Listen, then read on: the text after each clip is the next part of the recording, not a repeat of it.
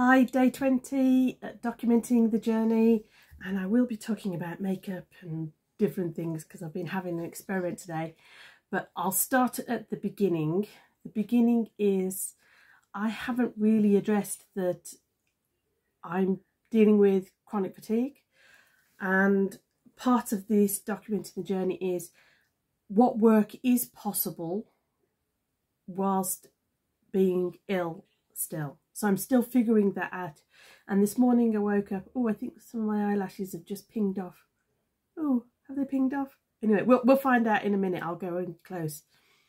This morning I thought I feel well enough to have an experiment using tech and using brain power. It, it takes up some energy. So, but today I had an experiment and I did another video for that. And then these false eyelashes and the lipstick arrived through the post and I thought I'd have an experiment. And it's kind of fun, but it's also kind of exhausting, you know, lifting your arms and experimenting and trying to figure that out. So I don't think doing all the makeup and stuff is the future for the documenting your journey videos. But, and I'm not sure it's possible for everyday other videos too. But again, it's an experiment.